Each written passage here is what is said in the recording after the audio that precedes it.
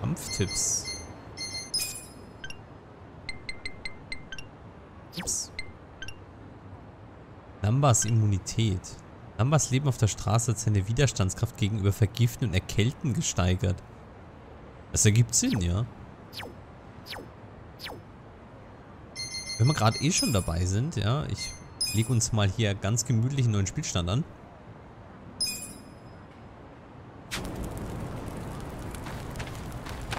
Also, wo sollen wir denn jetzt hin? Ah, da vorne ist dieses Hello Work also. Haben wir hier? Achso, das war das Dosen sammeln, ne? Das Dosenquest. Was ist hier? Shogi. Sonst irgendwas zu entdecken? Nicht so wirklich. Aber um Gottes Willen. Das fällt mir jetzt erst auf. Wie groß ist denn bitte dieses Gebiet? Also für alle, die die früheren Yakuza-Teile kennen, wissen, ja, äh, da gab es Kamurocho, das war vielleicht so groß wie so wie eines dieser Felder hier, ja. Aber hier haben wir halt, ich weiter rauszoomen? Nö, ne? L2, ah, L2 nach raus. Ja, guckt euch das mal an, wie viel das bitte ist. Ich bin mal gespannt, ob man da frei durchlaufen kann, ohne dass da Ladezonen sind und so. Weil ich gehe jetzt mal schwer davon aus, dass diese Quadrate bedeuten, also Quadrate in Anführungszeichen, diese Zonen bedeutet, dass man da irgendwie eine Ladezeit oder so hat. Aber wir können jetzt eh gerade nicht irgendwo woanders hin als zu Hello Work. Also würde ich sagen, nehmen wir die Beine in die Hand und gehen zu Hello Work. Ist ja eigentlich... Oh. Gruppenchat. Deine Gruppenmitglieder möchten ab und zu miteinander chatten. Du kannst das erlauben, indem du äh, Dreieck drückst. Wenn du bis zum Ende zuhörst, stärkst du die Bindung zwischen dir und deinen Gruppenmitgliedern. Wenn du dieses Gespräch unterbrichst, indem du indem du ein Menü öffnest oder einen Kampf auslöst, müssen die anderen ihr Gespräch unterbrechen. Das ist also extrem unhöflich. Wenn es dir also doch einmal passiert, kannst du aber zum Glück an der Stelle direkt vor dem Gespräch zurückgehen und noch einmal von vorne zuhören.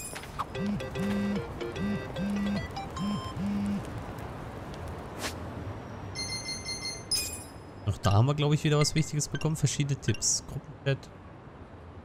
Achso, das haben wir gerade gelesen. Da ist doch noch irgendwas jetzt. Systemtipps. E-Taxi. In der Stadt parken Taxis, mit denen du in Windeseile von A nach B kommst. Das geht sogar über das Pausemenü. Aber aufgepasst, die Fahrten sind nicht kostenlos und Bequemlichkeit hat ihren Preis. Ja, ich glaube, dem ist so. Gute Freude kann niemand trennen. Gute Freunde kann niemand trennen. Im Verlaufe seines Abenteuers freundet Kasuga sich mit vielen Verbündeten an, auf denen, auf denen ihn bis zu drei begleiten können. Ach ja. Also Party aus vier.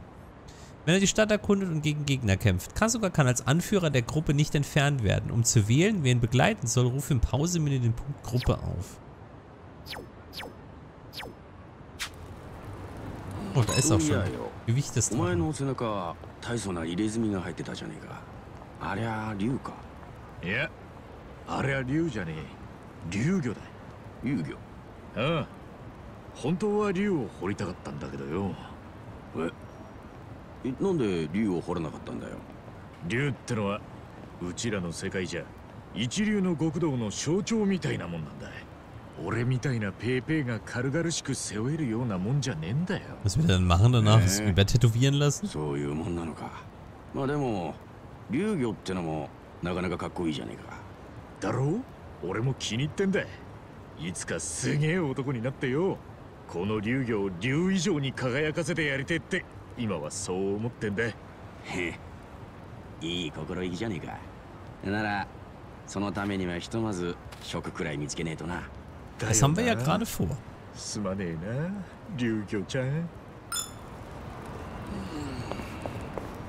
So. Ist hier eigentlich auch in dem Viertel hier ein Convenience Store? Nö, ne? Weil es hieß ja, wir sollen zum Convenience Store gehen für unser Konto oder so. Aber wo ist denn hier ein Convenience Store? Ach, da. Aber da können wir jetzt gerade nicht hin. Also... Vergesst, was ich gesagt habe und gefragt habe. Oh, oh 500 Yen. Ich sollte halt dran denken, immer so ein bisschen Geld abzugrasen, habe ich das Gefühl. Weil ich denke mal, das könnte noch wichtig werden. Und hier die Straße runter. Siehst bei Automaten Mülleimern, ne?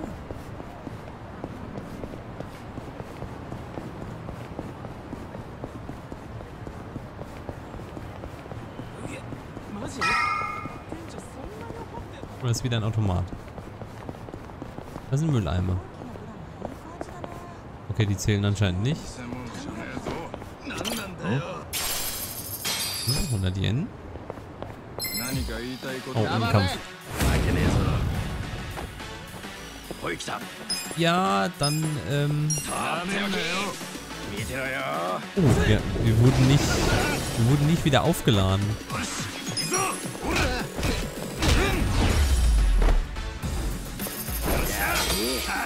Das wusste ich nicht.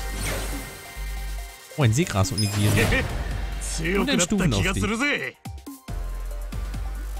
Aber unsere Werte gehen dadurch, also unsere, ähm, hier unsere, unsere, ähm, wie nennt man das, unsere Charakterwerte, damit ihr wisst, wovon ich spreche. Also dieser lustige Kreis da oben geht anscheinend nicht durch den Stufenaufstieg nach oben.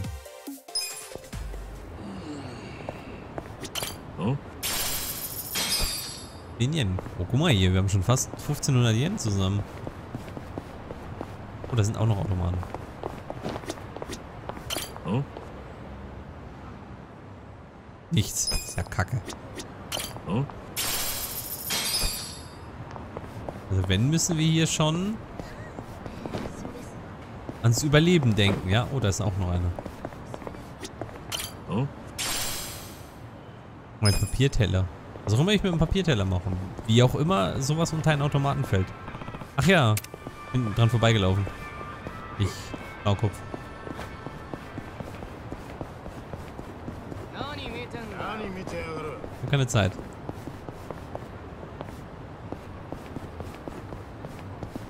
Was ist denn? Hier die Treppe hoch? Oh, scheinbar. Genau, erstmal hier vor dem 500 Yen.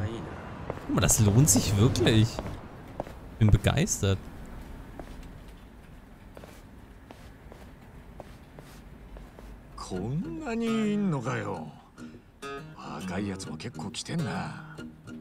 Ichiban, お前何歳だ ?42 歳だ。ナンバーは確か41かな。 どっちも望みは薄いな。41 glaube ich. Glauben. Okay. やる気はある危険だな。まだまだ若いやつには負けねえよ。松尾さん、あなたお酒臭いですよ。そういった方は斡旋しかねますんで。まずお酒をやめて後日改めて来てください。バカ野郎こんなとこ二度と来るのか。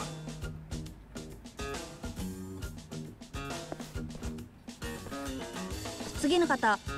はい。よろしくお願いします。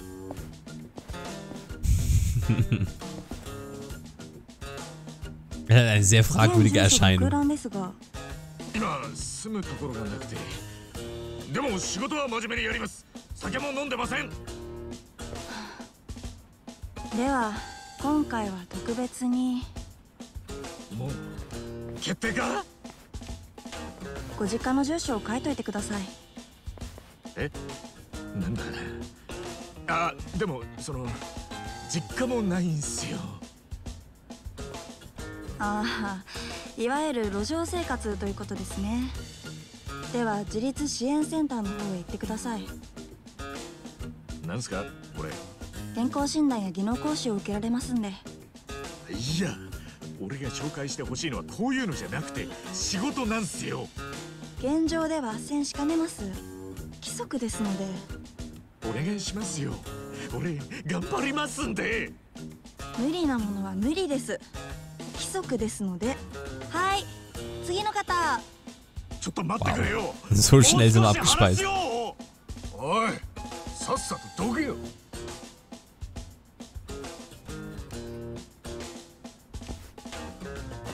Nach der großen Rede vorhin war das ja ein richtiger Reinfall. どうだ熱意は伝わったか Wow. 全く Dann stichelt er noch だ nach. よな俺も門前払いだ捨てる神はいても拾う神はい Guckt ない euch an, Nanba, der, der Mann der vielen Redewendungen. どうだい？見捨てられた者同士。その辺で仲良く飲まねえか？お前と一緒に住んじゃねえよ。ホームレスの分際で透けしやがって。こんなんだったら魚でも釣りに行ってる方がマシだったぜ。とんだ無駄した腐るなよ他に方法がある。諦めちゃダメだあんたたち仕事探しに来たのかい？あ Er sieht ein bisschen aus wie Frank あ Elzner. ホームレスには斡旋できねえとよそれは難儀だね。でもそれじゃ困るだろ。そりゃ参ってるさ。でも仕方ねえよ。うでも見たところあんたたち根は悪い人間じゃなさそうだな。お世辞なんていらねえよ。でもありがとうよ。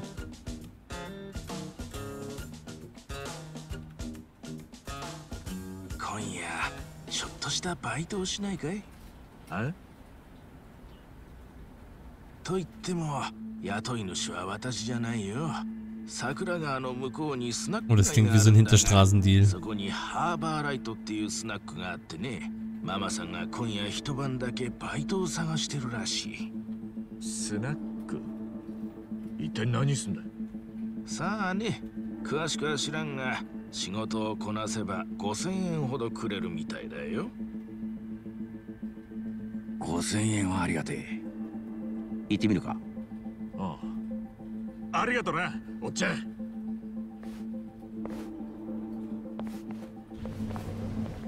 ちょっとこんなところで斡旋しないでくださいよ。ん？何のことだ？見てましたからね。規則違反ですよ。まあまあ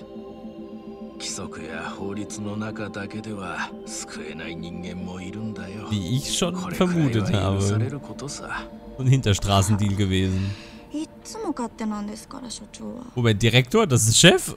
Das sieht aus wie der Hausmeister. Schatzsuche. Ja, an die sollten wir denken. Oh, jetzt guck mal, jetzt sind da zwei Figuren.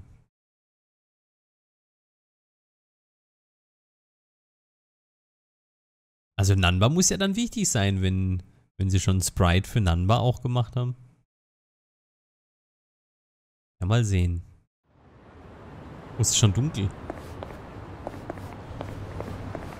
Aber wir hätten wahrscheinlich genauso viel Geld, dass wir, ähm, gerade so viel Geld, dass wir uns was zu essen holen können. Number? Ah, da ist er. Oh, jetzt können wir uns frei bewegen. Oh. Das sind Substories. Wo müssen wir denn hin? Da oben? Oh, große Güte. Gehen wir da erst hin oder gucken wir uns erst die Substories an? Ich würde sagen, wir gehen erst nach da oben.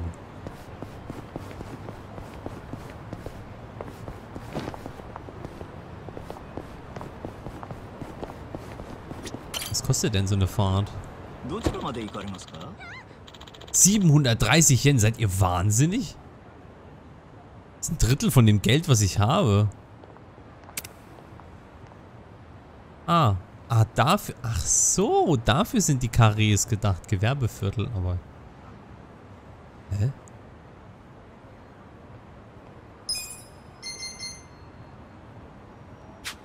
So, das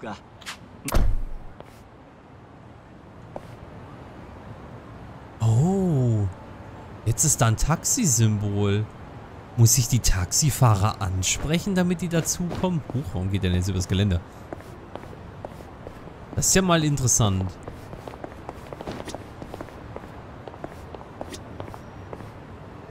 Oh, hier kann ich keine Schatzsuche machen. Kann ich nachts keine Schatzsuche machen? Weil es wahrscheinlich unlogisch ist, nachts nach Sachen zu gucken. Hm. Oh. Nur doch kämpfen.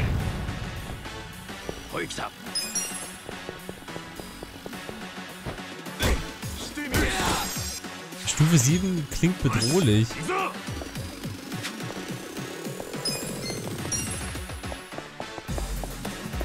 Wir auseinander hier.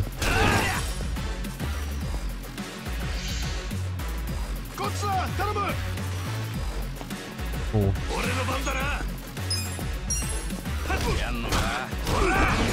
Ey, jetzt, jetzt sind wir wieder vollständig aufgeladen. Warum das denn? ja. Boom. Uh. Das geht oh. ja schnell mit dem Job an. Das ist ja Level 3 Obdachlose. Äh, wo können wir denn hin? Oh, das heißt, wir müssen dann immer gucken, wo Taxen rumstehen. Der Plural jetzt eigentlich Taxen oder Taxis?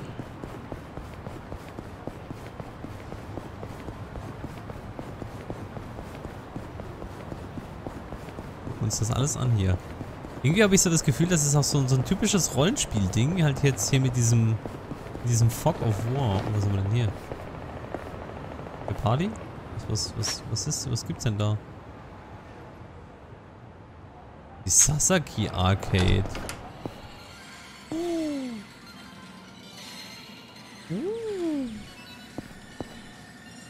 Wer bist du denn? Mir kommt das Gesicht so bekannt vor. Denn hier so? Virtua Fighter? Virtua Fighter? Fantasy Zone?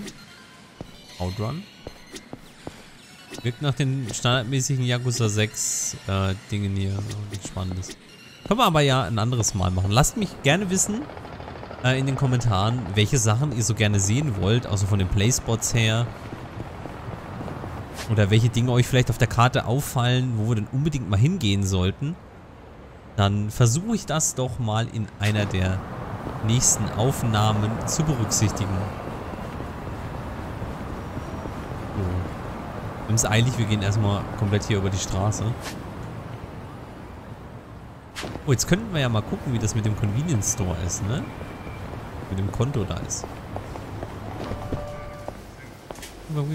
Ja, tatsächlich, hier.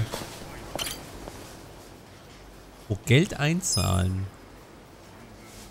Wenn ich das richtig gelesen habe, dann ähm, muss man ja relativ aufpassen, dass wenn man einen Kampf verliert, dann verliert man scheinbar auch Geld. Also ist es anscheinend wichtig, dass man hier immer ganz brav auf sein Konto einzahlt. Und wir haben wieder eine Nachricht, die wir lesen müssen. Sei klug, spar dein Geld. An den Geldautomaten in Convenience Stores kannst du dein Bargeld auf dein Konto einzahlen. Alles, was du auf dem Konto legst, ist sicher, auch wenn du im Kampf eliminiert wirst. Ah, siehst du, da habe ich schon. Wie sagt man so schön? Spare in der Zeit, dann hast du in der Not. Ja, okay. Was gibt's denn hier eigentlich so? Also nicht, dass ich mir jetzt irgendwas kaufen könnte, aber... Eine Tasse Sake. Normale Preise hier. Oh, Stamina Light. Für 10.000. Was ist das denn für ein teures Getränk, dass das ca. 90 Euro kostet? Was läuft falsch mit den Leuten? ist irgendwie ein Red Bull mit Taurin von gut gezüchteten Rindern in der Nähe von Hokkaido oder?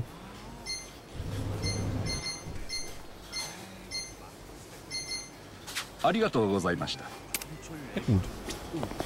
Ich sehe, wir kommen hier öfter her. Ähm, wir müssen über den Fluss, also praktisch nach da, oder? Ja.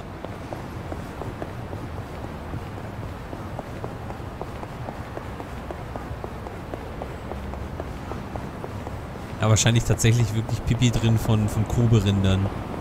Oh, was ist denn das hier dann?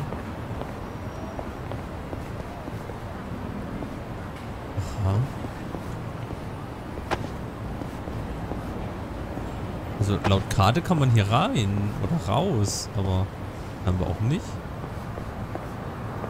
Wahrscheinlich noch nicht. Ist da bestimmt später irgendwas. Karte steht nichts, ne? Ist später bestimmt dann irgendwas.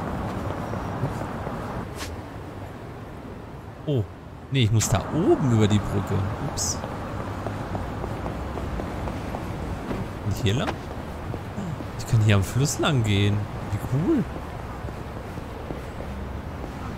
Ich, ich, guckt einfach mal, wie cool das aussieht. Entschuldigt, dass ich jetzt gerade den Spielfluss störe, indem wir uns hier ein bisschen umgucken, aber es sieht einfach so unglaublich toll aus, wie viel Mühe sie sich immer geben mit diesen ganzen Locations. Wirklich cool gemacht. Oh, jetzt müssen wir hier auch kämpfen. Ich habe aber keine Lust mit euch zu kämpfen.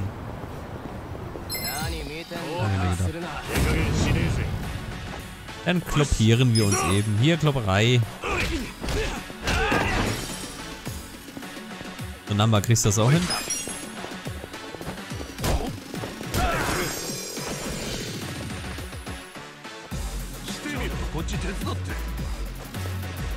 Noch Verstärkung. Wo ist denn die Verstärkung? Wir Verstärkung. Bumm. So.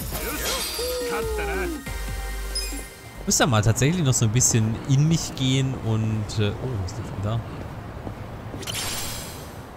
Lumpen. Und mal so ein bisschen gucken, wie das mit dem Kampfsystem, was man da so alles machen kann. Das ist ja total cool, dass man hier einfach auch an der Seite langlaufen kann. Ähm, was man... Oh, jetzt... Oh, ich habe einen Marker gesetzt. Das wollte ich nicht. Kann ich den wegmachen? So. Was denn so alles äh, in dem Kampfsystem verfügbar ist und wie man da so am besten... Die besten Möglichkeiten da so ein bisschen... Ich da auch hoch?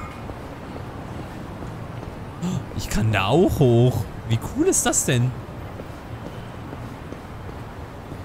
Wie gut.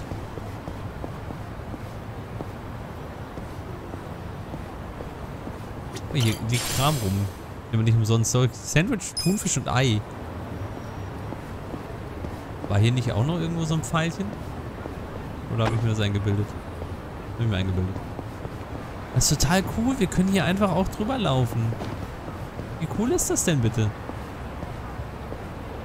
Und hier können wir nach unten gehen wieder. Oh, wie, ist, wie cool ist das denn bitte? Ich, ich liebe so Geschichten. Dass du nicht einfach irgendwie so einen Block hinschmeißen und sagen, so, du kannst hier nirgends rein, aber du kannst solche Sachen entdecken. Das ist richtig toll. Ähm. Hier? Scheinbar schon.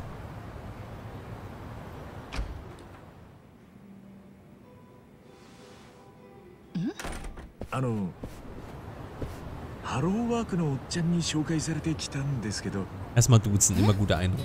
ハロー ワーク？私が頼んでおいたのさ。ハロワの神戸に用心棒よこせってね。ちょっと浜子さん勝手なことしないでよ。そんなの払うお金ないわよ。5000円で命張ってくれるなら安いもんさ。二人もよこしてくれるなんて神戸も気が利くね。ちょっと待ってくれよ。用心棒命張るって一体何の話だ俺らに何させる気だ一から説明してやるよ。こっち行きな坊やたち。Das Fenster da kaputt. 川沿いに店が並んでるだろ？全部ここと同じようなスナックさ。この辺りの店はもう何十年も泥棒に遭っててね。泥棒？泥棒って言っても盗むのは金じゃないよ。奴らが盗むのは電気さ。電気？東電ってやつか。ああ。あの電線を見てみな。この電線はずっと昔に奴らが勝手に張ったものさ。奴らって誰だ？あれってコミジュルじゃねえか。コミジュルなんだそれ？もう話したろ。偉人さんの一つ。韓国マフィアだ。コミジュルって名前の組織なのか？いや連中に名称はねえ。コミジュルってのはあの場所そのものの名前だ。じゃあそれがそのまま通り名になったってことだそういうこと。ここいらのスナックはずっとコミジルに電気を使われ続けてんのさ。Alles fragwürdig, was in で Yokohama 1 abgeht, ne? たり月数万はいくよ。もちろんコミジルは払ってくんないから店が負担してんだよ犯人がコミジュルって分かってんなら行動すりゃいいじゃねえか。とりあえず泥棒だからまず警察に連絡か。電話どこだ？それができりゃ誰も苦労しねえだろう。だよなばあさん。まそうだわね。Der nennt das sie eigentlich Oma. Die sieht noch relativ jung aus 警 irgendwie. 察様の出番 Die だろ Design 40? 警察は取り合わねえよコミジロのアジトに行くなんてやべえことするはずがねやべえこと？どれくらいやべえことなんだよ？え生きて帰ることはまずないね。また大げさな。大げさじゃねえ。コミジルに近づく人間はヤクザマフィア警察関係なく片っ端から消えてくって昔っから有名で墓場みてえなところだぞ。偉人さんの他の連中だってあそこに近づくのは嫌がるくらいだ南波さんは知り合いいねえのか？コミジュルに。いねえよ。知り合いたくもねそっか。じゃあコミジュルから離れたところでそいつらの誰かを見つけ出してから。あそこから一歩でも外に出たら誰が誰だかわからねえよ。バッチつけてるわけでもねえ。コミジルの連中ってのは偉人さんでもひときわアンダーグラウンドな存在なんだ。なるほど。街じゃあってもわからねえ会いたきゃあそこへ行くしかねえか。で行けば死ぬのは間違いなし。というわけでばあさんこりゃ諦めてもらうしかないぜ。そんな簡単に言わないでくれよ。こりゃ死活問題なんだ。そうだよな。なんかいい手がねえもんかな。ほら一番。お前何言ってんだよ。関わるのはよそうぜ。だったら電線切っちまえばいいんじゃね？えコミジュルが勝手に貼ったもんなんだし。バカ言うね。だよね。だから昨日切っちまったとこだよ。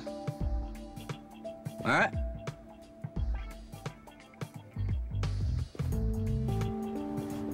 おい何してんだよババすみません。私も止めたんですけど。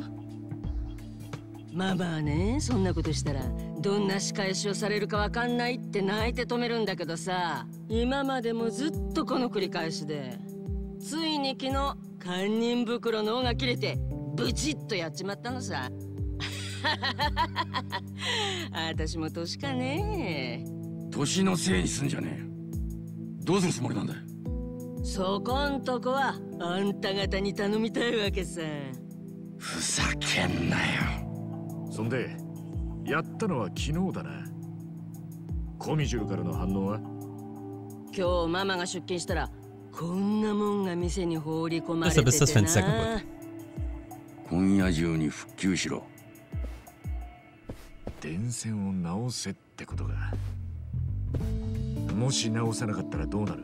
そうね。相手は姿も見たことねえ連中だし連中の言ってることが脅しじゃなけりゃなんか仕掛けてくるかもしんないね。来るかもしんないねって絶対来るさ。あのなばあさんが自分の大事な店を続けたい気持ちはわからんでもないけどさ。さすがに無茶すぎ。自分の店？私はここの常連客だよ。ママのことを思って用心棒を手配したってわけさ。はあ？どこまで勝手なババアだ。うとにかく冗談じゃねえ。俺はコミジュルと関わり合うのなんて絶対にごめんなさい。dann war etwas Schiss. 絶対にだ。そうかい。嫌ならお帰り。腰の抜けたボディーガードに払う金はないよ。ああそうかい。こっちから願い先だ。おい帰るぞ。すみませんでした。本当にお騒がせしました。あんたこれからどうするつもりだ電線をまた引き直してそれでも揉めたら誰かにお金を借りて示談なりなんなり。そんなのやめときな。私は納得いかないよ。うるせえババ。アそもそもてめえのせいだろ。ばあさんの言う通りだ。納得いかねえな。は泥棒された上その泥棒にまた金払うなんてありえね バイト代は5000円だったなああそれがママの出せる限界でね。でも。Sie kann sich aber auch nichts leisten aktuell. 俺やるぜ Habe ich das Gefühl. マジかよちょっと待てよ仕事を選べる立場じゃねえんだ。人助けして金までもらえるなら願ったり叶ったりさ。いいこと言うじゃないか。あんたはちょっと違うと思ったよ。誰かさんと違ってこのババ本当にいいんですか？ねえ。男に二言はねえ。俺たちで引き受けるぜ。ちょいマジ俺たち？俺も入ってんのか？Ja, bist ja mitgekommen. やる気のねえやつはお荷物だ。嫌ならお帰り。分かったよもう。やるよ。やりゃいいんだろうがよし話は決まったね心強い用心棒が2人もいるんだ営業開始と行こうじゃないかママ Das muss mir übrigens tatsächlich mal jemand erklären, wie, wie sich das lohnt für diese ganzen Barbetreiber, wenn wirklich nur eine Bar neben der anderen ist da. しかし不気味なビルだな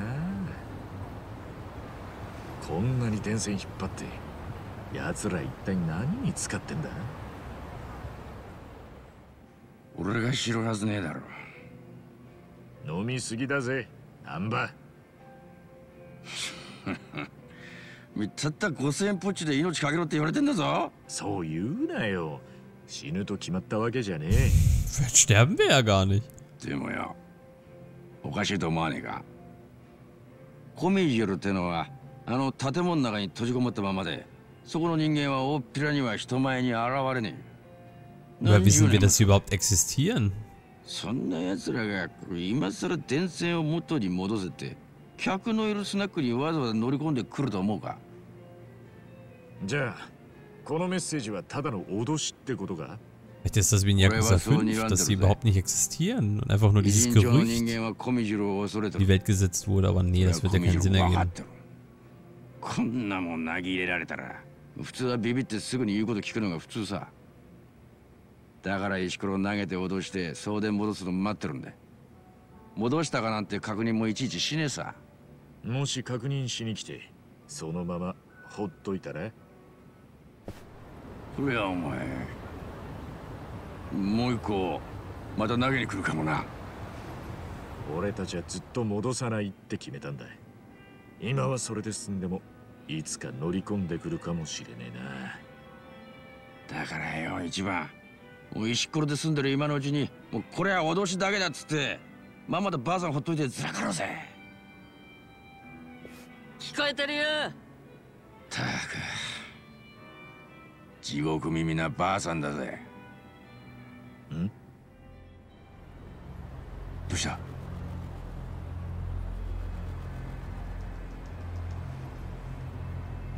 いやあれ誰もいねえじゃねえかいやさっき人影があ Einen Moment. Voll erschrocken.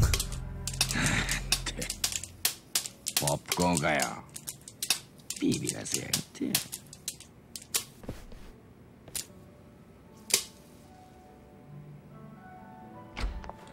いらっしゃいませ。お客さんうちは初めてでしたっけ？まあな。ああの男ハローワークにいたやつだ。本当だ。あの野郎。無職のくせに飲み屋なんか来やがって。な